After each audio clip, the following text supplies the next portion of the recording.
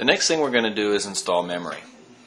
Now this board's unique in that it has both DDR and SD RAM slots. They can be used at the same time. They cannot. I get that question a lot, so I want to clear that up now. Just because it has both slots, can't use them both at the same time. Now, SD RAM, rarely have I seen it installed wrong because there are two notches. One, two. And the RAM has two notches that line up with these. So it's really obvious that it only goes in one way. DDR, on the other hand, only has one notch. Now, if you look at it real close, you'll see that that notch is offset.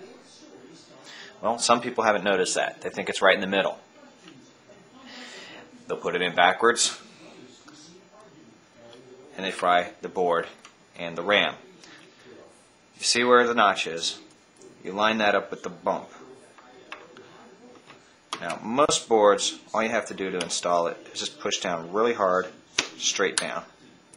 Some, some boards have really tight slots in them, though, and what you might have to do, I find this works out really well, is just drop the RAM in the guides. Push the RAM in one side at a time, and then give it one really good push in the middle. Just because these little white tabs on the sides come in does not mean that the RAM is locked down. I've had plenty of times where these tabs will be in, but the RAM will not be all the way in the slot. And one way you could tell it's all the way in the slot is if you look down here, you probably won't see any contacts if you look down at the uh, where the RAM meets the slot.